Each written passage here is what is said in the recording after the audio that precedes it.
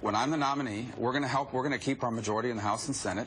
And when I'm president, I can tell you this, my faith will not just influence the way I'll govern as president, it will influence the way I live my life. When I am president of the United States of America, there will never be any cap and trade in the United States. That's why when I'm president, we are going to rebuild our intelligence capabilities, because when I'm president, unlike Barack Obama, we will keep this country safe. Let me tell you what we're going to do when I'm president. If we do not know who you are 100% for sure, and we do not know why you are coming for 100% certainty, when I'm president, you will not get into the United States of America. When I'm president, we are going to rebuild the U.S. military. When I am president of the United States, we are getting rid of Obamacare once and for all. When I'm president, we're hiring 20,000 new border agents. When I'm president, we're not going to undermine religious liberties. When I'm president, we're going to have a real war on terror.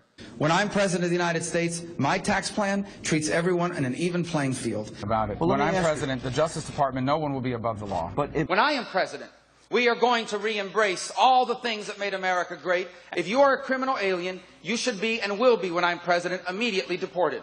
And if you are a sanctuary city, when I am president, you will lose your federal funding.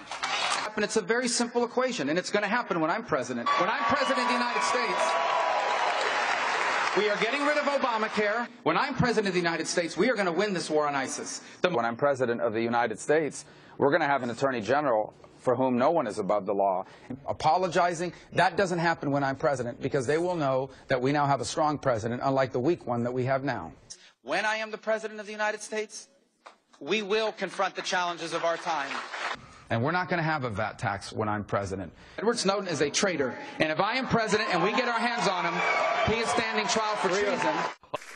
When I'm president, we're not going to undermine the Second Amendment. I'm running for president because we're going to make the right choice when I'm president. And when I'm president, America's going to re-embrace all the things that made her special.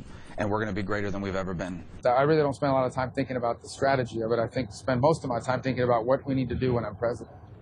And when I'm president, we're going to be America. Harry, and when I'm president, we're not just going to have a president that gives a State of the Union and says America's the greatest country in the world. When I'm president, we're going to have a president that acts like it. Thank you, Senator. And here's the bottom line. When I'm president of the United States, all of these things Barack Obama has done to try to take from this country everything that makes it special, all of those things are gone. Yeah. Plus, we're going to give away sweet rolls when I'm president.